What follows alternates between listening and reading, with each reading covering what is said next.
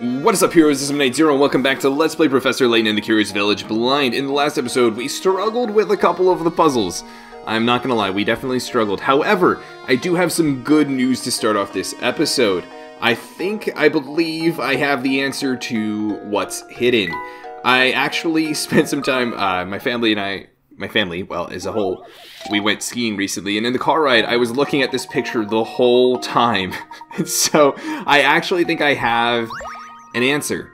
Um, I thought, and actually, what my thought process was, what it eventually ended up being, was thinking of five letter animals. I came up with tiger, uh, goose, moose, uh, rhino, hippo, a variety of things.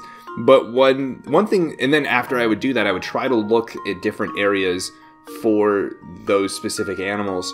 Um, I even thought human or fairy, maybe getting a little bit tricky with the wording, but one that I think is the answer is horse. And if you rotate this picture 90 degrees counterclockwise, the the head of the horse is sort of emerging from the side here. The frog itself actually is the the horse. And so if you turn your head to the side, you can see that the eye of the frog, this is a nostril. Here would be the other nostril. Here is the eye of the horse, and then there are the two ears here. I will say that I don't like that it's only the, the head of the horse. I wish that if the answer were a horse, it would be the entirety of the horse. Or similarly, it, that the context of the rest of the picture around the horse would make sense. And maybe there's some other way to view the scenery once it's rotated 90 degrees counterclockwise, but um, but I think that's going to be our answer, guys. So we'll give that a shot and hope for the best.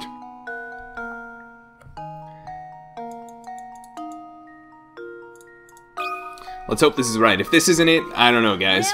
Because this is something I actually saw. Wow, that is it. I did it! Yes! That's right, rotate the picture to the left, and all of a sudden you're staring at a horse. I knew the. Well, I knew the frog looked odd, but it's so difficult to say, well, maybe it's not something in the weeds or the grass or in the negative space or whatever it may be. Still haven't figured out a fearsome foe, so don't really have anything for that one. Image equation, hadn't thought about that one, just focused on that picture one. So we'll move on to find the volume and continue with the rest of the puzzles, and we'll see if we can come back to those and come up with anything, but... Huh. A strangely shaped container sits before you. All sides of the shape, save for depth, are of equal length. Okay. All four points, A, B, C, and D, are located in the center of their respective sides. Additionally, line AD, line BC, and the depth of the container are all one foot. Okay. What is the total volume of the figure in cubic feet? Don't worry about the thickness of the walls of the vessels. So, this is pretty weird because they go from one midpoint of a side to another midpoint. So I guess one way to look at this is we can, you know, split up into a bunch of rectangular prisms, right? And and work from there. Although ultimately, if we know the length of one side, we'll be able to figure this whole thing out. So my thought process is, how can we figure out one one side length? And to be honest, because everything is in terms of side lengths, we, we can actually take advantage of the length of AD and BC being 1 to create some convenient triangles. So let's let's do this. I'm going to draw this line here and then this line here and then we've got this nice triangle with AD as the hypotenuse which has a length of 1. What is the length of this um, this horizontal side, this horizontal leg here? It's going to be 3x where x represents one side length, right? So we'll say that that's 3x. And then, what about our other side? Well, given that D is the midpoint of one side, and so is A, and our line is, well, not drawn to scale, but horizontally directly across, um, this should be x over 2, and then an x, and then an x over 2. So I think we have 2x. And so we can use the Pythagorean theorem then to say that 2x squared plus 3x squared is equal to 1. And when we do the math, we'll get 4x squared plus 9x squared, which is 13x squared, is equal to 1. So x squared is equal to 1 over 13. So um, x is equal to 1 over the square root of 13, I guess? Which seems like a really odd number to have as the side length. But we'll, we'll go with it for now. Because we're probably going to be squaring this anyways. So if each side length is 1 over square root of 13, and we're doing length times width times depth, right, to get the volume of each of these shapes, our top row is going to be a volume of 1 over 13. Right? So that's going to have 1 over 13. And in fact, this this shape, right, this rectangular prism is actually repeated in all the other layers of the shape. So this middle, or this, you know, second row is actually just going to be 3 of the top row. So that's going to be 3 over 13. And then the middle one is going to be 5 over 13. And then 3 over 13, and then 1 over 13. And conveniently enough, that's going to equal 13 over 13, or 1. So the volume, interestingly enough, will just be 1 cubic foot. Yeah, I, I, feel pretty good about that one. That's pretty odd though. Because what's interesting is when the side lengths were 1 over square root of 13, I was like, am I on the right track? I don't think that they would want me to think up something like that, but... Oh, yes! Maybe there's an easier way to do it. Good work. As shown above, the odd shape you were given can be reconfigured into a cube with a volume of 1 cubic foot. so there's the easier way to do it, guys. Is you just reconfigure the whole thing into a cube itself pretty clever. I did def- I definitely did not see that. But you guys know me and are probably not surprised that I've heard, I of course first jumped to algebra. Anyways, the Knight's Escape. What do we have here? Is it going to be another one of those escape puzzles? With the, the ball and the blocks? Ah, oh, no it's not. Darn. Those were tough, but really fun. Behold the brave knight as he fights his way through a dark and winding maze. With his strength waning, the knight decides that he must exit the maze by opening the fewest number of doors possible. Find the path that allows the knight to escape from the, those dark catacombs while opening as few doors as possible. Okay, so start and goal. Um, I'm tempted to see if there are there are comparable routes, right? So, for example, if I were to go, can I draw? What? They're not going to let me draw on the one that has a maze, essentially? That's not helpful. Um, well, you'll notice that there are these big loops, right? So if I go to the left here, I pretty much have to go to it through one of the doors in order to get a, a meaningful path. Um, is it worthwhile to get the treasure chests or anything like that? No, I guess not. They're just there for for the fun of it. All right. Well, let's see what we can do then. Let's work backwards from the goal, I think. That might... Actually, no. We're, we're going to have to test a variety of pathways anyways. So what I'll do is... Oh, man, I really wish I could draw. Just to the left, between that green thing and the X, there's a door. That's going to be a pretty pivotal door. So we're going to try the path above that, to the left of that door, um, first.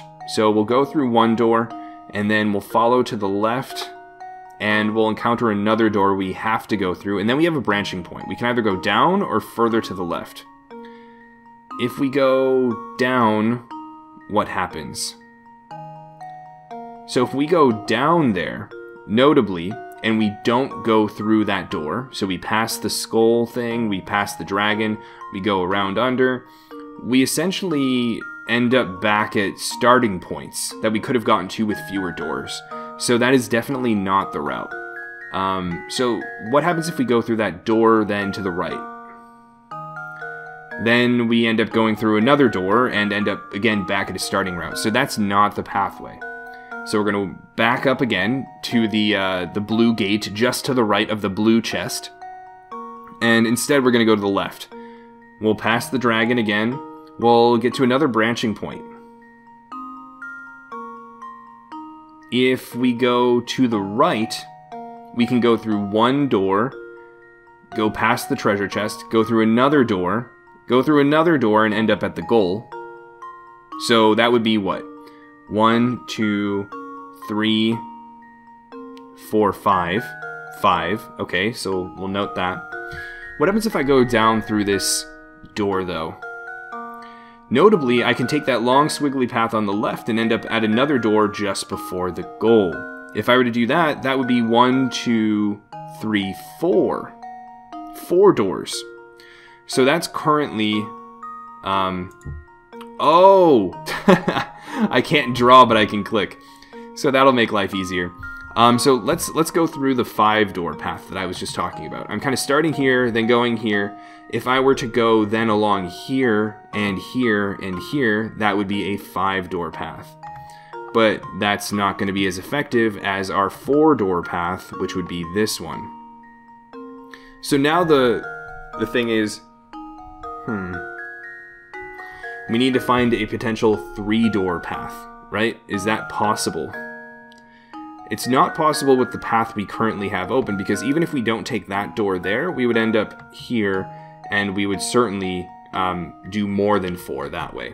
So that can't be it. So let's try our other options just to be safe. We've already exhausted this route. So what happens instead if we were to go this route and gain access to this pathway?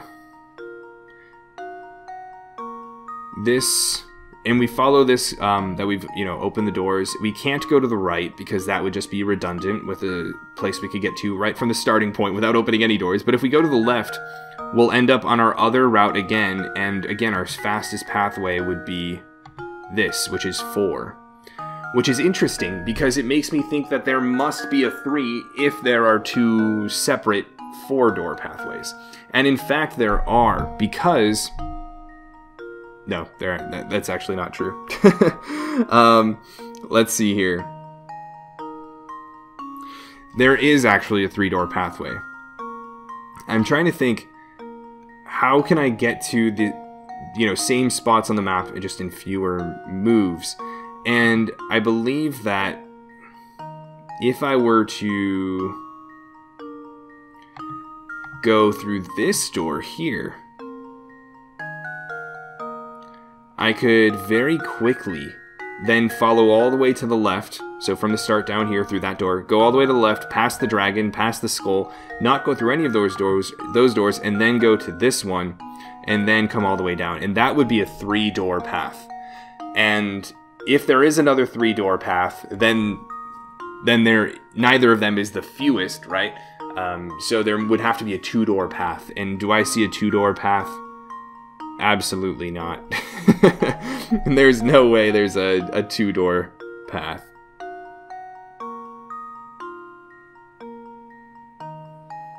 No, just following back from the goal towards the start line, if you go those two different routes that have the doors, you're going to run into two doors so quickly that um, there's no way those are the options. So yeah, I think I think this is it. It reminds me of that one How water flowing through the pipes puzzle. Awesome, we got it. Layton's apprentice saves the day. Nicely done. This situation was dicey, but it looks like our Brave Knight has triumphed again. Well, our Brave Knight hasn't necessarily triumphed from that first fearsome foe. So we'll we'll see. But anyways, Lion versus Cheetah. Okay, interesting puzzle name. Curious to see what the puzzle itself actually entails. A cheetah and a lion square off in a 200 yard race. The first one to run 100 yards, turn around, and run back to the start line wins. The cheetah leaps 3 yards in one jump, whereas the lion only leaps 2 yards with each bound. To make up for his lack of speed, the lion jumps three times for every two jumps the cheetah makes. Assume their paces stay consistent the whole race. Who will win this race? Gotcha. Um, so let's think about this, right? The the cheetahs, with the in terms of the distance, um, well, first of all, there's uh, you know 50-50 shot, so we really got to make sure we're good on this one because if we guess wrong, we're immediately going to know the answer. Um, I think the thing that's tricky here is right if you look at this in terms of just rates and distance, Uh, the cheetah is 50%, you know, three halves, right? That ratio to the lion, whereas the lion's rate is three halves to that of the cheetah. And so you would think they would cancel out.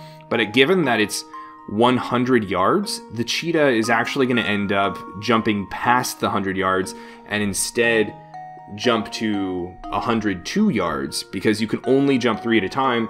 And so the nearest multiple of 3 to 100 is 99 and so then we'll jump to 102 yards and travel that extra distance while the lion will actually land exactly on 100 yards and then turn around.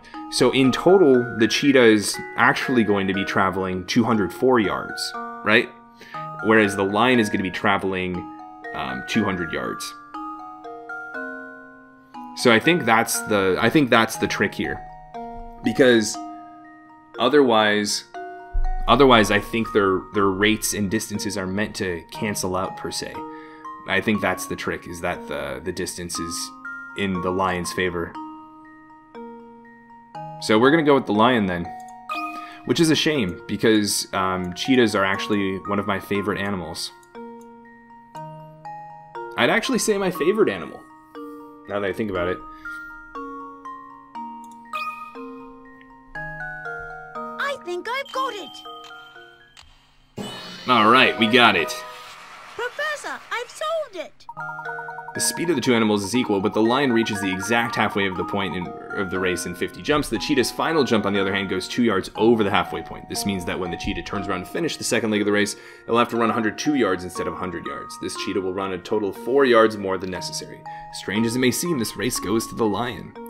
Which is, again, is a shame because cheetahs are really cool. Yeah, cheetahs are probably my favorite animal, followed by elephants and penguins. Giraffes are up there. I like tigers too. Not sure if there's much of a theme. But it's been that way ever since I was a kid. Alright, silence is golden. What do we have here? An infamous antiques thief breaks into a museum looking for a prized gold medallion. In the vault, there's a case with five different items on it. On it. Oh, okay, I see. The the thief knows that the medallion is carefully hidden inside one of the items. Above the case, there is an inscription on the wall that reads, Silence is golden, three is the magic number. The thief only has time to steal one item from the case. Which one should he take? So we're looking for a gold medallion, and we're given the clue, Silence is golden, three is the magic number.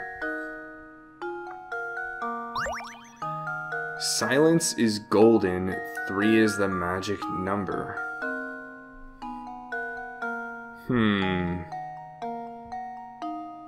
And the five items we have are a bomb, a pair of scissors, a a bust of a horse head, maybe like a knight chest piece, and then a sword and an hourglass.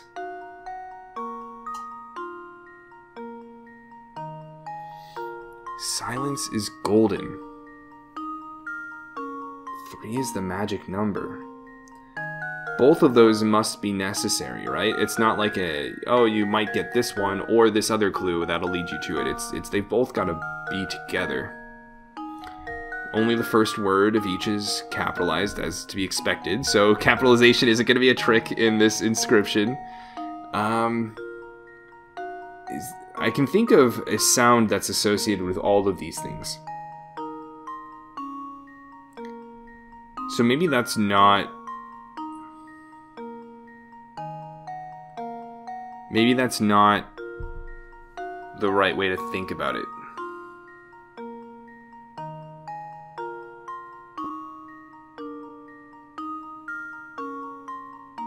What about three is the magic number? I'm trying to think, you know, is there something amongst these that has a three in it, right? I think, you know, an hourglass could maybe be perceived as there's three seconds left or three, something like that. Um, three is the magic number. Maybe a bomb countdown from like three, two, one, I don't know. Uh, the, the sword, I don't know. Hmm.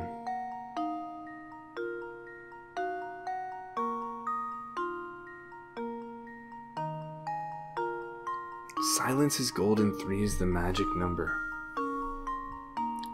Can I move the items? No, but I can draw. For whatever reason in this one, but I can't draw in some of the other ones. Still pretty funny. Um, hmm. I mean, I would think that the hourglass is the most silent of all those things when I consider the sound effects associated with them. Uh, there are three of like pillars in the hourglass, right?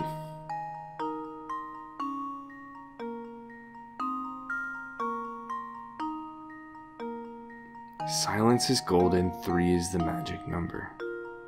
I mean, notably, the sword and the the knight piece both have gold visible on them.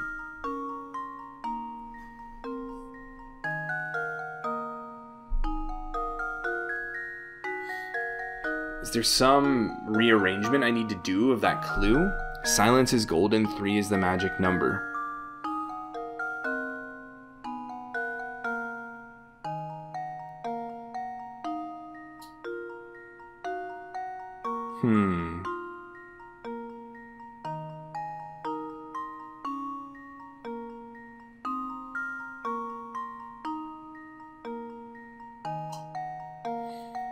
Not sure. I'm gonna I'm gonna think on this one for a bit, guys. But if I have anything, any new thought process or something that comes to mind, I'll be sure to let you guys know.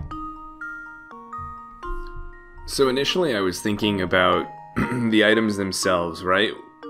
What would silence is golden refer to? What would three is the magic number refer to? But I think that if that were the case, if that were the right thought process, you would only need one of those clues in order to actually get it which which may be the case, but I think it's actually likely that you need both pieces. You need both clues in order to get it, right? And it's also kind of odd the clues they give. And so what I'm starting to transition to is the thought process of how can I manipulate this statement? Silence is golden, 3 is the magic number. Whether that's eliminating all of the silent letters, of which there are only two. Um, or do I eliminate the third letter from every word, for example? Or do I make a new word out of the third letter um, or every third letter in the statement? Is that the case? I haven't found anything useful yet, but that's kind of where my thought process is at at the moment. I guess one other thing you could consider is each of those statements individually, silence is golden, and then three is the magic number, could reduce the number of the objects, right? So, for example, silence is golden might get you down to the chess piece, the knight piece, and the hourglass. As, you know, the bomb is something that's loud. The scissors snip audibly. The sword, I don't know, clanks with other swords, or when you set it down. Um, and so maybe the most silent would be those two objects. And then three is the magic number would tell you which of those two objects it would actually be. So so maybe that's where my brain should be at. By that thought process, I would think the hourglass, but honestly, I'm far from confident in that, so I'm still probably going to think about it. Actually, maybe it's worthwhile to get a hint at this point. I've thought about it for a good maybe 15 20 minutes now, and and I think that I don't see myself coming up with much more. Think about how each item is different, and then think about how that could relate to the inscription. well, duh. These hints, these hints on these weekly puzzles, guys, have been near useless. if I'm honest, they've been pretty unhelpful. Uh, so think about how each item is different, and then think about how that could relate to the inscription. Great. Thanks. Really riveting advice there, game. Yeah. I mean, for what it's worth, how helpful is that? It tells me that I shouldn't be trying to decipher some sort of code within this statement, right? I shouldn't be eliminating every third letter or, or something like that. I should actually be focusing on the objects. In that sense, it's helpful. But it doesn't tell me much to do beyond that. So I think actually I might go with Hourglass then. Because it's the most silent, and it has three of those columns in it, which is honestly all I can really think of at this point. So let's let's give it a go. I am I am okay with with doing that for now. I don't see myself coming up with much different anytime soon. It's not that. I've let you down, Professor. Nope, it looks like our thief is going home empty-handed tonight. Oh, they're not even gonna give me a little little tip. Okay, well it's not the hourglass, so so whatever I was thinking before is not correct, right? So how instead could I differentiate these, right? Silence is golden. Three is the magic number. So I guess one other thing that is coming to mind now is that sort of relating the silence is golden, three is the magic number. You could maybe interpret that as something related to three, there's going to be silence of whatever the item is, right? Um, and for me, that kind of resonates with the scissors. Right now, you can think of it as sort of a, a three-legged or three-appendaged shape where where each loop at the top is one appendage and then the combined scissor blades at the bottom are um, one appendage and when you open them they become four uh, but then of course they will they will make noise so they're silent when they're closed it's pretty it's a stretch honestly i don't feel confident in it but but again, I don't really think I'll be seeing much more.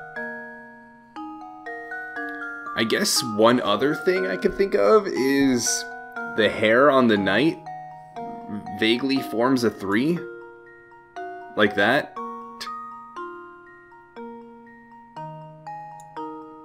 That's the only thing I can think of.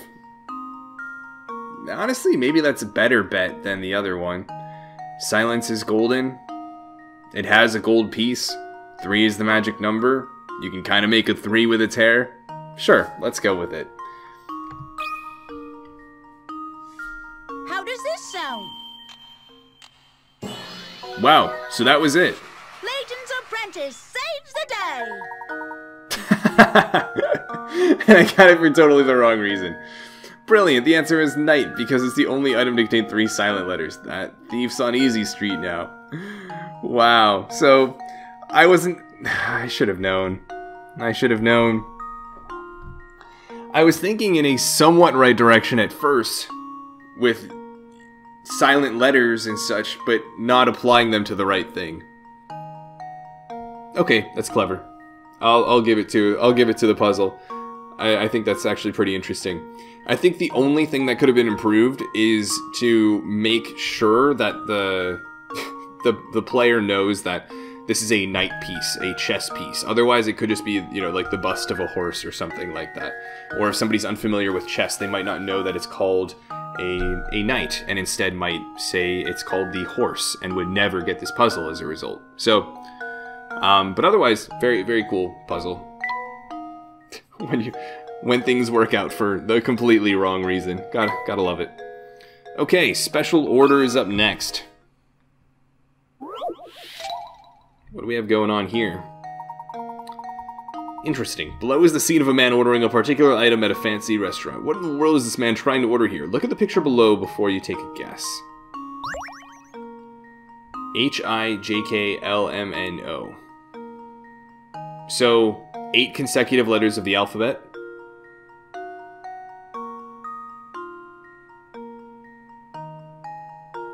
That's pretty odd. The below is the scene of a man ordering a particular item at a fancy restaurant. What in the world is this man trying to order here? Look at the picture below. I don't see much else in the picture itself. All I can think of is this hint is essentially eight consecutive letters, right? I don't think this is supposed to be like a we need to rearrange the letters to come up with something. We'll we'll think about that for sure, but I don't think anything comes to mind immediately.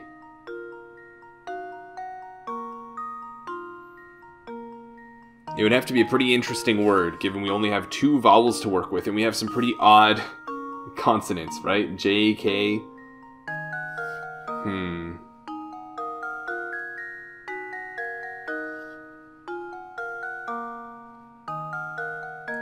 Yeah, I don't think that's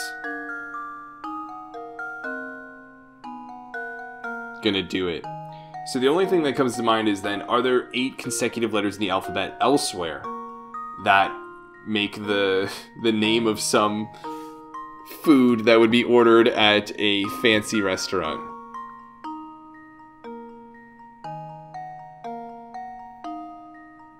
Um, I'll just pull up a list of the letters of the alphabet. That's going to be easier to actually cipher through. I would think that, you know, I would have already recognized if there was some random food that spelled itself in the alphabet. But that's not, yeah, there's no way um, that's the case.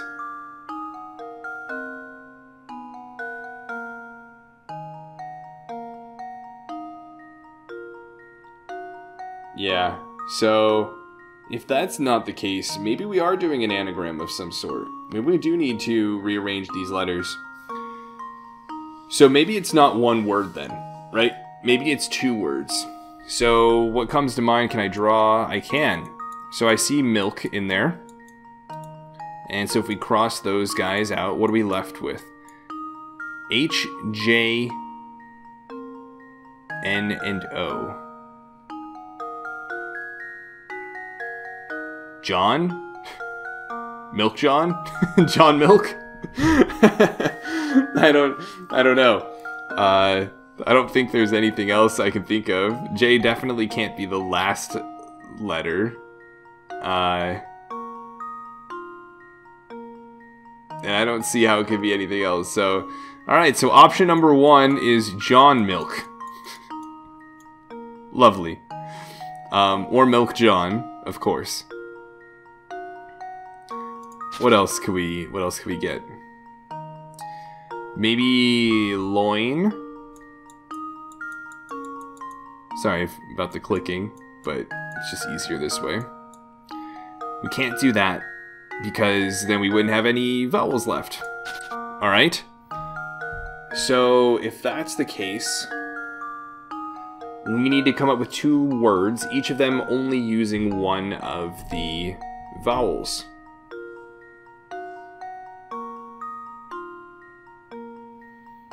Hmm. So let's focus on I first. What could we come up with with the word with the letter I in the middle somewhere? Just milk is all the only thing that's coming to mind now. Uh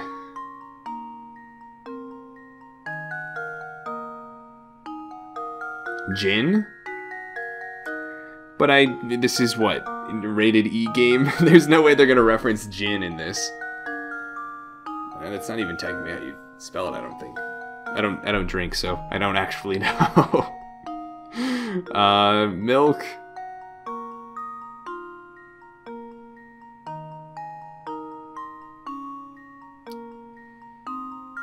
Yeah, that's that's all that's coming to mind. Let's think about O then. Are there any words that come to mind for O? I'm not really coming up with much. The only thing now I'm thinking of is how would you pronounce each of these, right? And when you say these letters, does it sound like some sort of an order? H I J K L M N O. H I J K L M N O. H I. H I J. Hmm. H I J K. KLM. Hmm. Not not having a lot of luck here.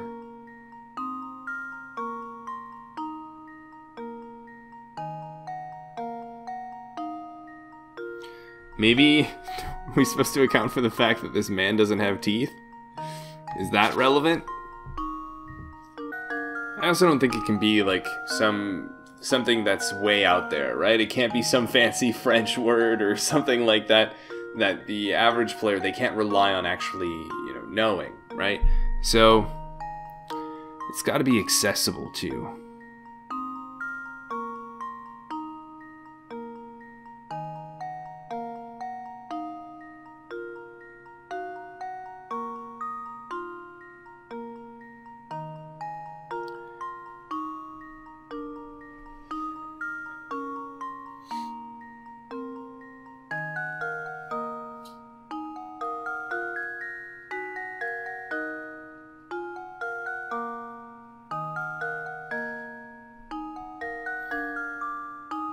Milk is the only thing I can think of that you can just get from those letters.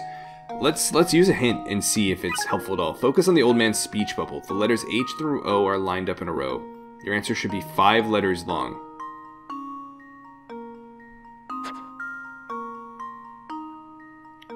So the only thing helpful here is that they say to focus on the speech bubble, so we don't need to care about his teeth or whatever, but your answer should be five letters long is helpful. Focus on the letters H through O. Really?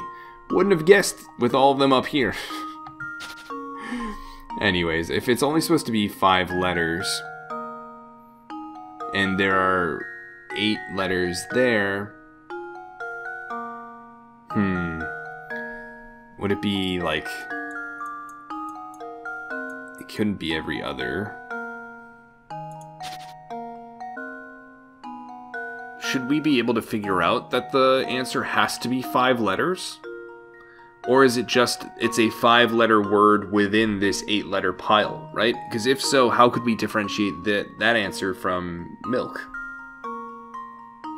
Maybe it's important that it's a fancy restaurant? Like like we're dealing with I don't know, limon, L I M O N. I don't know if that's like French or Spanish for for lemon or something, but that would be pretty funny, wouldn't it? I'm basically now I'm just trying to think of what are some five letter words I can even make with these letters, and I'm not coming up with much. Alright, so I've been looking at this for quite some time, and I cannot, for the life of me, come up with a reasonable five letter word here. Um, the only other thing I'm thinking of is maybe he's not trying to order something and is instead trying to say something. So, like, I, John, as like some sort of introduction, or no, no gin, right? Um, like I mentioned before. But I'm not really even confident that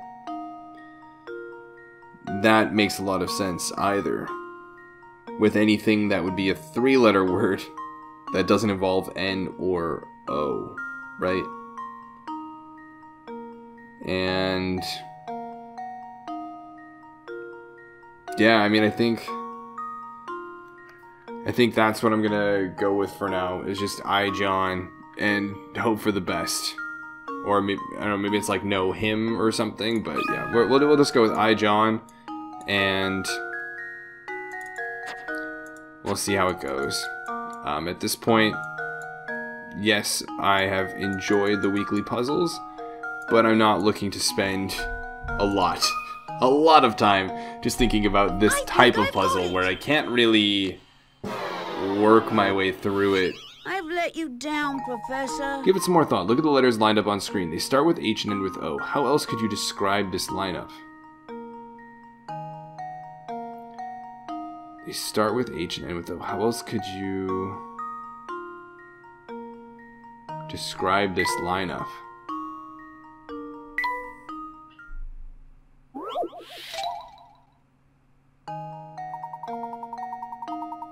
How else could you describe this lineup? Alphabetical order?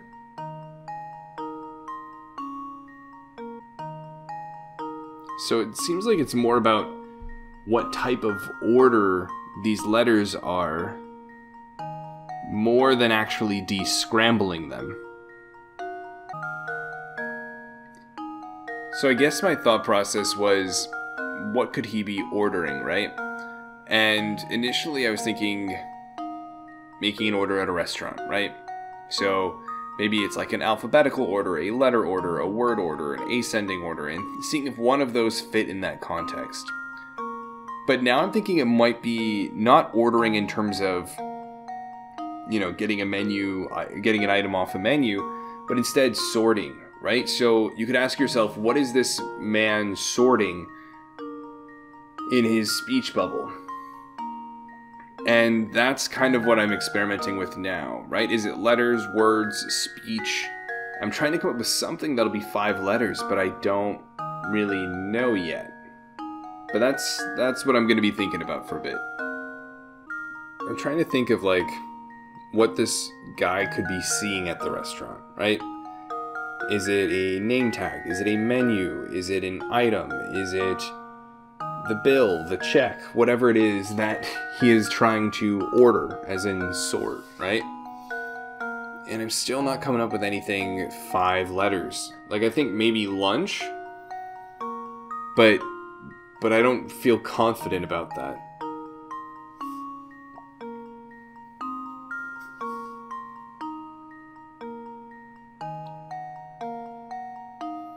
It's a particular item at a fancy restaurant.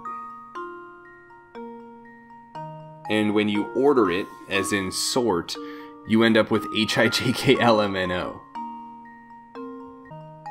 Maybe if you like rearrange those letters, they would make something like John L. Kim, like a name.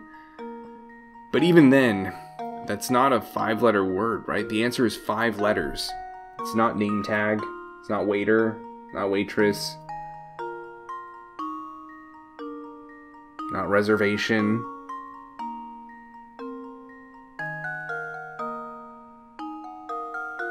It's not host or hostess.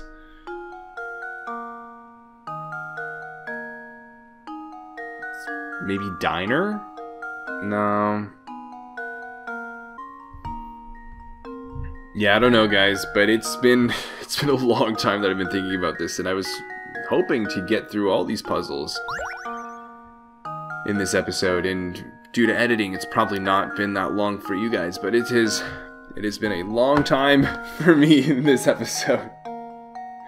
And I'm getting pretty ready to call it. So I'll think on this a little bit more, but for the time being, yeah, we'll we'll try and solve the puzzle later.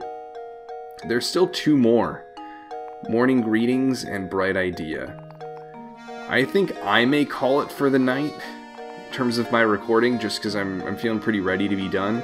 I'll think on the image equation, I'll think on a fearsome foe, I'll think on this special order. We still have a couple more left, so I'll probably I wish I knew how long this episode actually was so far. I'll probably just have a second recording session where I look at these. Or maybe... Oh, maybe I should just look at them briefly now. maybe I should. I kind of want to. Because if they're going to be quick... If they're going to be quick, they're going to be quick. Let's see here. Puzzle number 25. Morning greetings.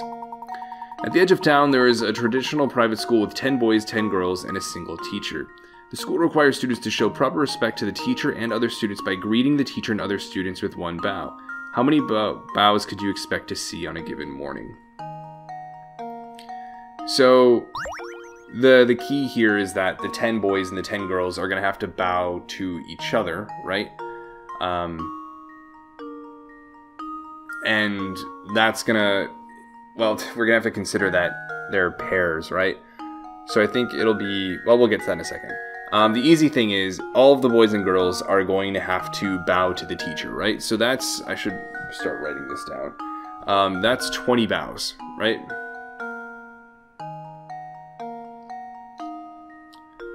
Yeah. Um, although, actually no, never mind. So yeah, we've got 20 bows for the teacher from each student. And now we consider each of the students, right? So one student, let's go with the, the boy, um, one boy is going to do 19 bows, right, for every other boy and girl. Um, and then the next boy, the second boy that we go to, is going to do 18 bows, right, for every other boy and girl except for the first boy. And then the third boy is going to go and is going to do 17 bows, right? Because it's going to be for every boy and girl except for the first two boys. And then the fourth is going to be 16. And then the uh, the fifth will be 15. And the sixth will be 14 and, and so on.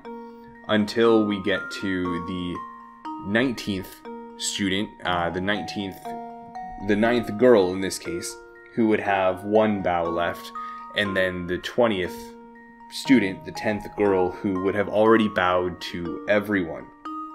So essentially, what we have is the sum of all the numbers from 1 to 20. And I should actually know this formula off the top of my head. I think it's.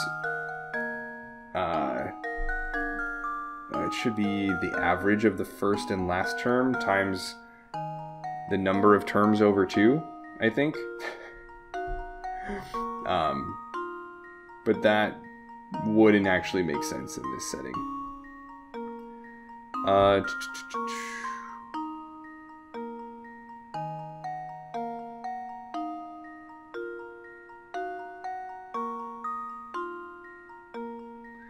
I guess, I mean, just what would make sense is the average of the terms. That's what it is. Um, it's not the sum. It's the sum of the, the two numbers divided by 2, right? So the average times the number of terms, right? So it'll be 20 times the average, um, which in this case would be 10, or 10.5 actually, right? 20 plus 1 divided by 2. And what will that give us? That will give us 210? Yeah, I think so. 210 bows in total. There are 20 bows from each of the, the boys and girls to the teacher, and then we consider all of the boys and all of the girls, and I think the process I went through that is sufficient. So I think that's 210. Let's give it a go.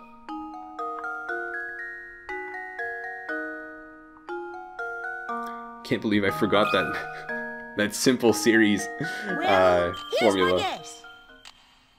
That's not it? Great. I'm so embarrassed. Again, including the teacher and students, there are a total of 21 people on campus. Stay sharp, though, because you've probably overlooked something important when forming your answer. What a lovely, what a helpful hint.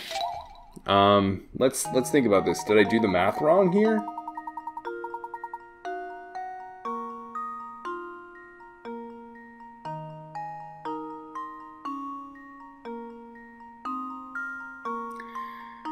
You know what? Maybe this is a bit of a word problem here. I'm thinking, how could I interpret this otherwise, right? So the school requires students to show proper respect to the teacher and other students by greeting the teacher and other students with one bow. Does that mean one student shows up and bows to all of the other students and the teacher once? Or does that mean individually bowing to each student and the teacher once? I assumed it was going to be the latter, and that's what got me to the math that I did in the first place. Um,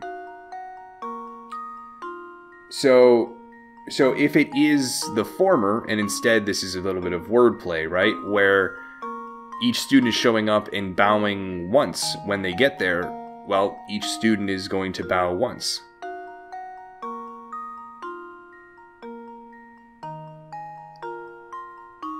I guess um, the teacher's not going to bow, right? Well, that was accounted for in my previous one. Or is the teacher going to bow? Because that would add an extra 20. I don't know. The school requires students to show proper respect to the teacher and other students by greeting the teacher and other students with one bow it makes it sound like the, the students are bowing, but not necessarily the teacher. I wish that point were clearer. if I if I could know whether or not the teacher's actually going to be bowing. So, do we want to try that other interpretation, right? Where we assume maybe it's some wordplay going on here, and each student shows up and bows once to everyone? Maybe that's what we should be going for.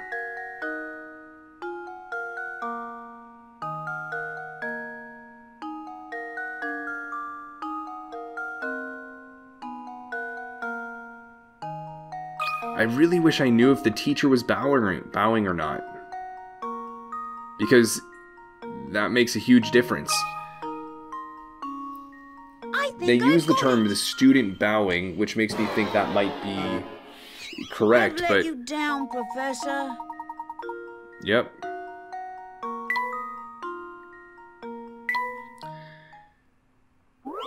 Oh boy. I wanted this to just be a quick one, but here we are, right? I wish I knew if the teacher bowed or not.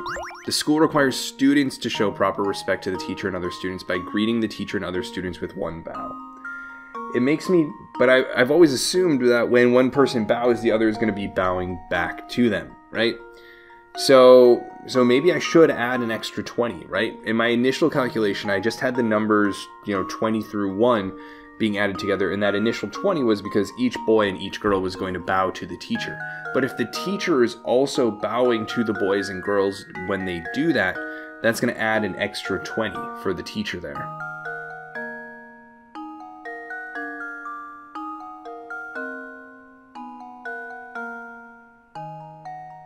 Hmm.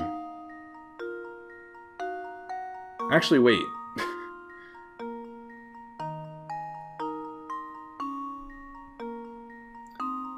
Wait, no, the, the way I initially calculated that, I think accounted for. Let's see. So the boys and girls show up, they bow to the teacher once. So each boy bows with the teacher. So the teacher is going to bow to 20 people. And then each student will bow with 19 so I think I awkwardly calculated this the same way, actually, accounting for the teacher bowing. Because you have the teacher bowing to 20 students, and then one student is bowing to the 19 remaining students, and then the next student is bowing to the remaining 18 students, and so forth, until you have, you know, the final student who's already bowed to everyone, right?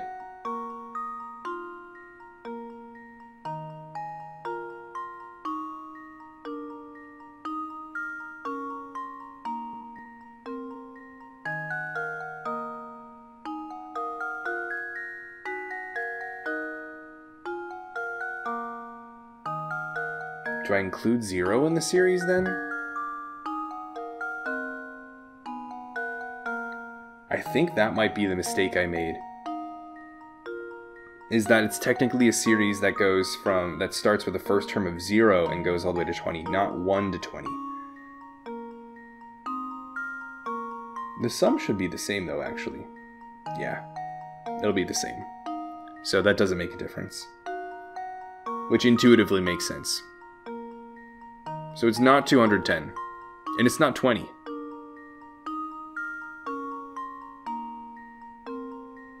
So maybe my next guess would then be 21, right? Where everybody shows up and they all bow to each other once in the beginning. And thus there are 21 bows. That's assuming the teacher bows to the students. So we'll give that a go and see if it works. If not, we'll probably try a hint. Let you down, oh, Professor. Oh boy.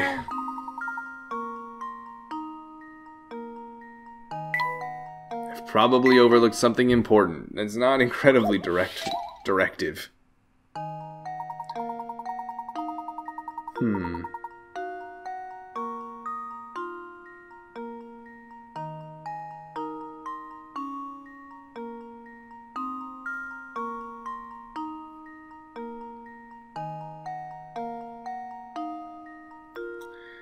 Yeah, we'll we'll take a look at the hint. See what it has to say. Did my game freeze? There we go. Each student bows to the teacher and every other student, including the teacher and the students. There are a total of 21 people on campus. You may think that information is enough to go on, but make sure you've read the puzzle over carefully before you answer. This is not a helpful hint at all. the hints on these weekly puzzles have been so bad. so unhelpful. Is it maybe another wordplay thing? Where they say how many bows could you expect to see on a given morning?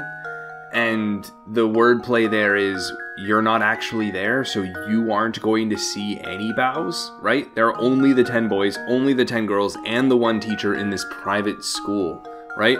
So you're not even there. And thus you would see zero bows. Maybe that's maybe that's the wordplay answer they want to go for. So let's let's try that and see if that's what they were aiming for. Well, here's my guess.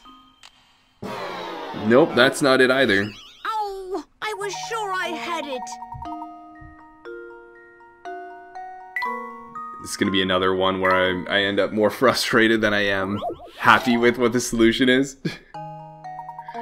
I feel like it's always wordplay that comes down to, well, I, I think I got the math right, but there's something I must be missing about how I'm interpreting the structure of the problem.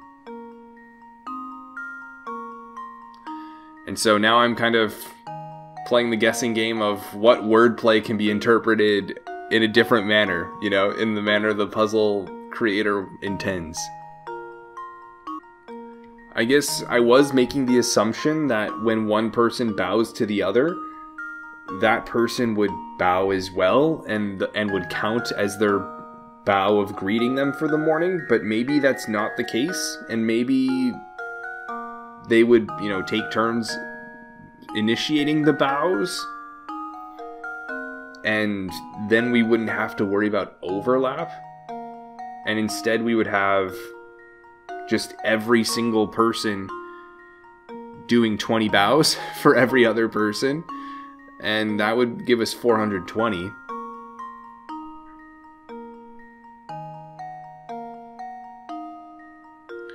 but I don't really like that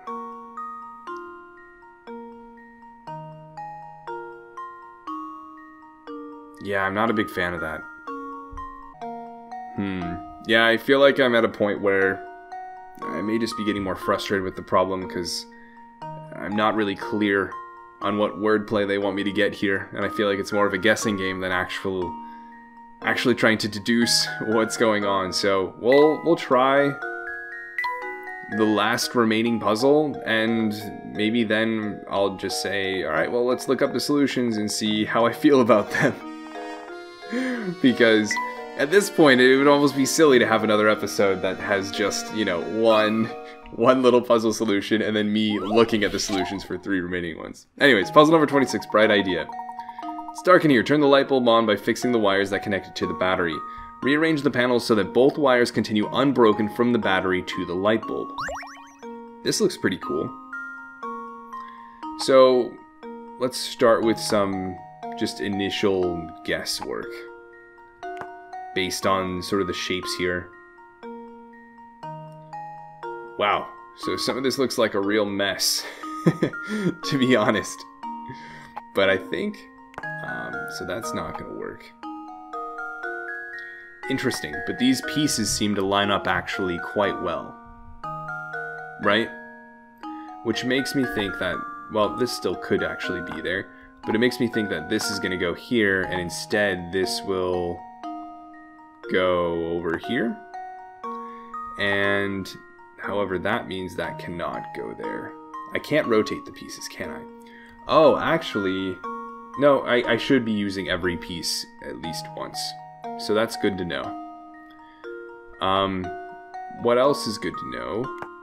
This piece lines up well with that one. Interesting, actually. So the pieces line up well with certain other pieces, uh, just based on the locations of the wires, but they they line up well, at least on some sides, more than once, um, which is definitely worth noting. So the question then is going to be, how can we make it work best? And whatever it is at the top, we're going to have to have it such that it connects the two wires like that. And I think this may actually be our solution. So I kind of just intuited that from looking at how the different sides were connecting, but I do think there's some interesting methodology that could be applied here, right? Where you look at the different sides of each piece and say how many leads does it have because that limits how many other pieces it could be connected to. And so you try connecting it to a couple different tiles and see which place of the grid does it need to be in so that it can expand as needed to connect to these other pieces. But all that to say, I think we got this one. Well, here's my guess. All right. Professor, it. Oh good, this room could use some light. Lovely. Okay, so there were four puzzles that I was still thinking on. Do I want to think on them some more and come back another time? Special order, morning greetings, image equation. I'm not entirely convinced I'll see anything more if I think about him again than I would another time. But maybe in the interest of just giving him a fair chance, I guess. I'll come back to this at another time, and we'll go over the solutions if I don't come up with anything more interesting uh, tomorrow. Because, well, man. I, I kind of just want to conclude it though. I, I really enjoy solving the puzzles myself, but.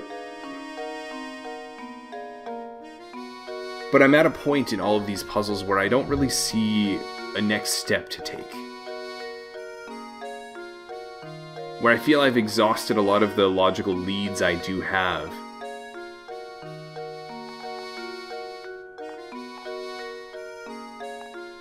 So you know what? Let's let's go over let's go over the puzzles. Let's look at the solutions and see how it works. So this is the fearsome foe one, right? And I was actually thinking about this one earlier uh, when I was in the car a little bit too, but it was said that anyone who slew the beast was destined to spill his own blood in the process. Immediately, I, I was thinking of yourself, and that's what I was thinking, but I tried that and it wasn't correct. So, so what is the answer? Um, you two, or the hints right, you two may have bested this foe in battle. Your answer should be eight letters long. Uh, let's see. Okay.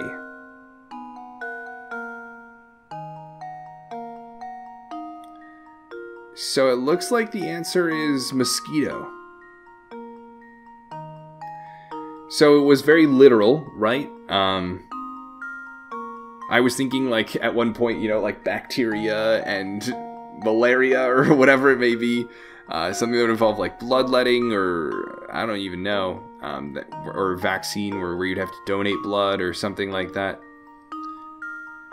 Mosquito is, is clever, but again, this type of this type of puzzle, you guys know, doesn't sit super well with me because you just kind of sit there guessing without really without really a lot to work with.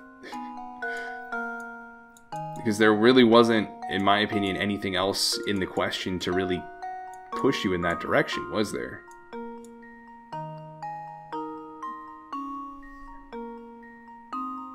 Like, do you know if it's even referring to like a beast, a monster, just some living creature, or is it more abstract, like yourself, right?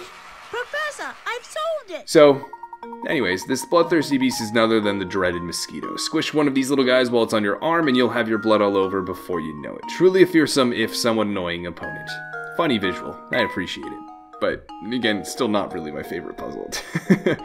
um, let's move on to the next one the image equation. So this one, I feel like I stared at it for a good 20 minutes. Um, just trying to figure out, again, what are the similarities between the two? Is it to do with shapes that are shown in the images, or I don't know. Maybe it's um maybe it's like the shape your hands make when using the objects.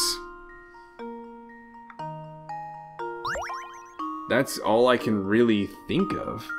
Uh, but that really only accounts for like the X's, right? Uh, so I don't, I don't really know, and I'm not too convinced. I'm willing to to sit for another half hour to an hour uh, to try to figure it out.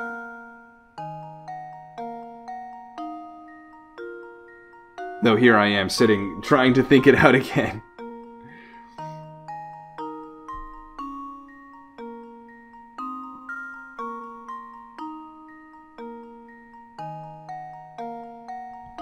We try the hint on this one? I think we did, right? Look at all the options again and try to figure out what they have in common.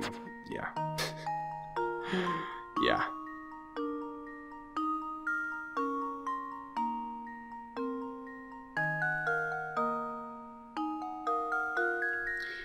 Yeah, I'm gonna look this one up. Let's see here. I'm curious to see what the answer is. Um, the answer is. Answer is handcuff. So in the top left, we're seeing handshake. The top right is a handkerchief. And then in the lower left, we have milkshake. And then in the lower right, we have cuff links. Wow, there's there's no way I would have ever gotten that. um, I cufflinks why would they show the two pictures then that show the the cufflinks as opposed to just like one that has the cufflinks? Not one where it's like picking up something on the on the right hand side. On the top right i thought that was a piece of paper not a handkerchief. And the lower left it could have been a milkshake but i wasn't sure that that was the exact dessert they were using so you basically had to take the first for the all these compound words or you know yeah compound words the first word in the compound is the symbol on the left, and the second word in the compound word is the symbol on the right. So in this case, what they wanted you to find is that circle means hand. And after you found the pattern that, oh, X means shake, then you would say, I know that the green triangle represents cuff when you identify cuff links, and then circle triangle thus means handcuff. Wow. So I think that was um, pretty obtuse. I I think the I, the idea is in and of itself pretty clever, but I don't think there's enough to work off of there really. I'm sure somebody got it, but I still don't think that really makes I I it a well-designed puzzle in my opinion. Wow, I feel so bad just kind of ending off this series of the weekly puzzles on a more pessimistic note, right? With the puzzles I didn't like, I wasn't able to get, but good job. As you guessed, the answer is handcuff. The key to this puzzle is that each option is a compound word that can be broken into two parts.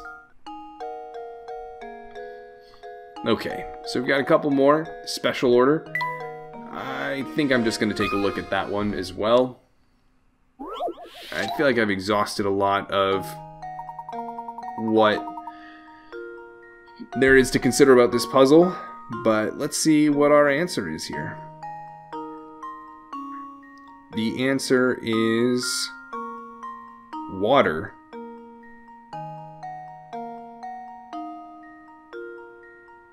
Huh?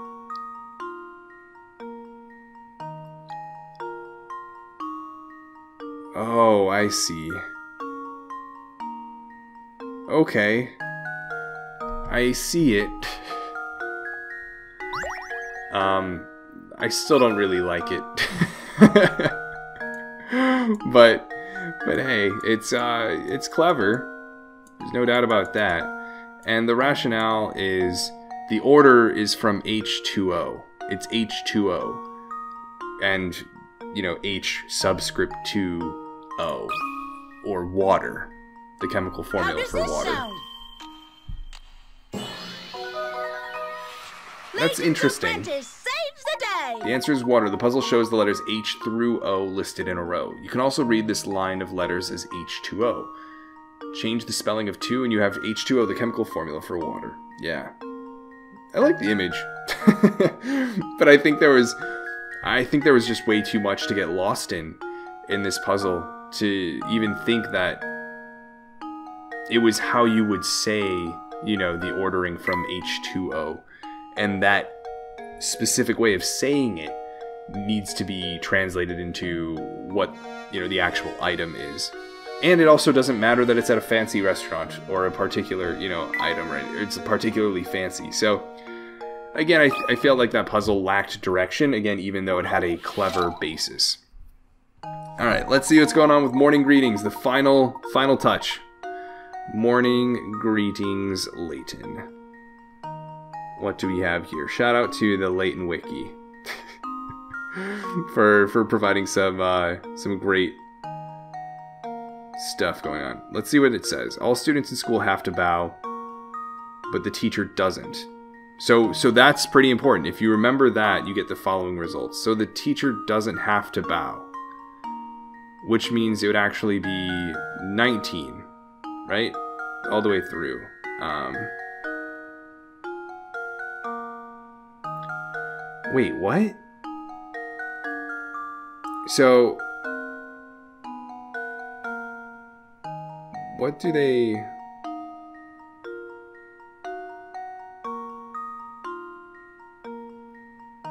Alright, so the answer they got is 400, I think.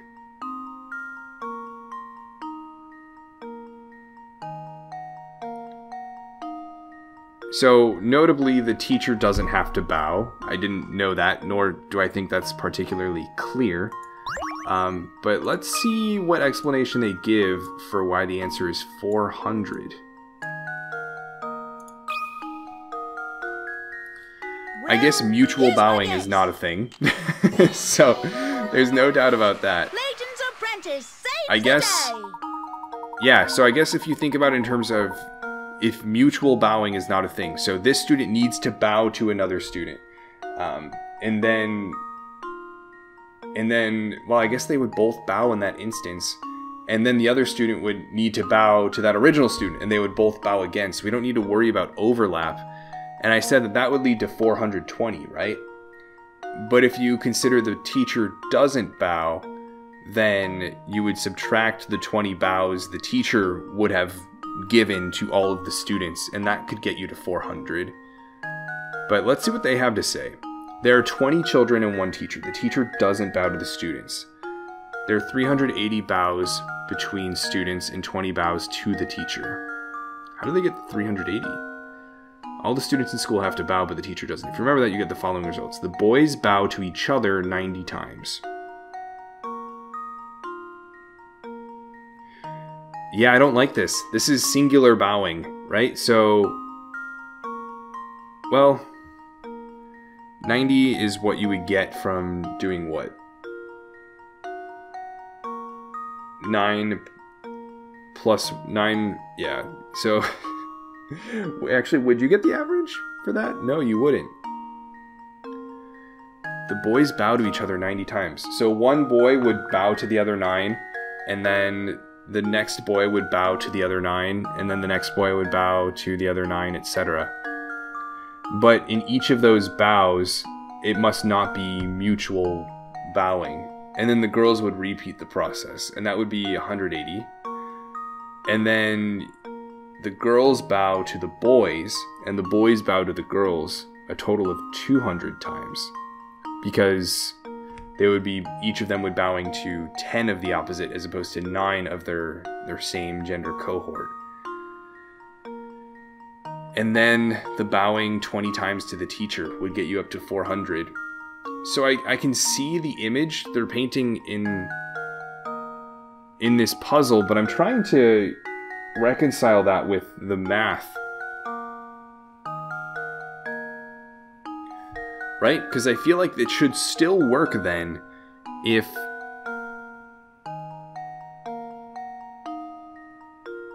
like I feel like I should still get the same answer. If you consider because they they basically just counted all the bows, sort of like we did, right? Where you start with one student who's then going to bow to the 19 others I guess yeah. The one of the big things was the big thing was they allow for overlap, right?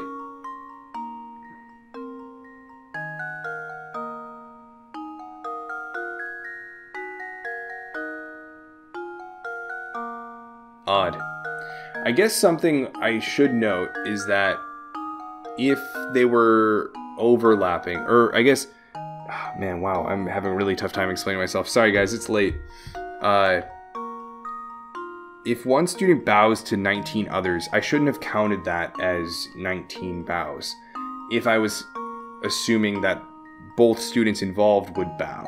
So that's how I ended up with such a low number comparatively. That was actually a mathematical mistake there. Um, in each of those bows, each of those 19 bows, if I was going to progressively move along and say, oh, now the next student wouldn't, we're not going to consider that bow to the first student because they've already bowed if I needed, if I wanted to proceed in that manner, I needed to count each student's bowing with another student twice to account for, well, the second student bowing to the, the original student.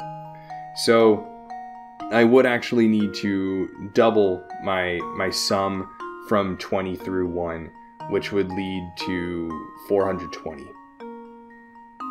So I did do the math actually conceptually incorrectly there.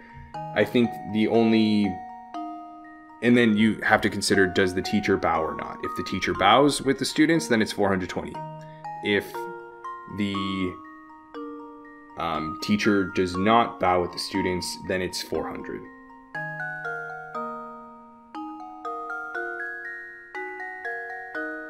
Yeah, so I think that's what it comes down to. Um, I wish it was more clear whether or not the, the teacher bowed. I, I kind of wish they specified that in the problem. But otherwise, the math itself is pretty cool. And um, I think that's that's the only complaint I really have about this problem. It's a lot of bowing, though. it's a lot of bowing, guys. But it's something. So there you have it, the weekly puzzles. Overall, I'm glad I got the chance to do some more Professor Layton puzzles. Uh, Layton is a great series, and I really enjoy the characters, and I, I think I really enjoyed, you know, working through the large mystery at hand in the in the Curious Village. And I don't think this set of puzzles was representative of the quality of the main game's puzzles, to be honest. There were some really neat ones, I think. Uh, the nose to nose one was particularly cool. What else was there? Layton's hatbox was pretty neat. The clock's chime, I think, was actually blatantly wrong. Some of them were clever little things, like, you know, the vanishing tower, or um, the, the Enigma was actually really cool too. Chicks and hens, I like that type of puzzle, so that was pretty neat. The jersey numbers was clever, even though I got it wrong for the re- or got it right for the wrong reason. I didn't consider the repeating digits, which is kind of silly. Find the volume, I actually liked quite a bit. I think given you could take that more algebraic route like I did, or you could just sort of use spatial reasoning to reconfigure the cube itself. That was pretty cool. Uh, the lion versus cheetah one I thought was was fairly clever, and yeah. So I think overall I, I liked them, and I'm glad I had the chance to do them for sure. But there were quite a few that I think just you really had to guess about what the puzzle maker was thinking when they made this puzzle. There's not really a lot to deduce to a certain extent, or there wasn't quite enough direction uh, to really, I don't know, make a meaningful approach to the problem. And then, of course, the hints were horrible. the hints were so useless for many of them, and there was only one of them, which wasn't very helpful. So, Overall, uh, still a big fan of Layton and the Curious Village, and definitely feeling Diabolical Box in the future. We'll see how soon that'll be. Big thank you again to Mario X Mega. Please tell me it's Mario X Mega. I think that's the name. Uh, for helping out with actually getting me access to these weekly puzzles because without without their help I would not have been able to do that. So thank you so much for not only making the suggestion but making accessing these puzzles possible. And it's really cool to see that there are people actively trying to preserve this experience within this game.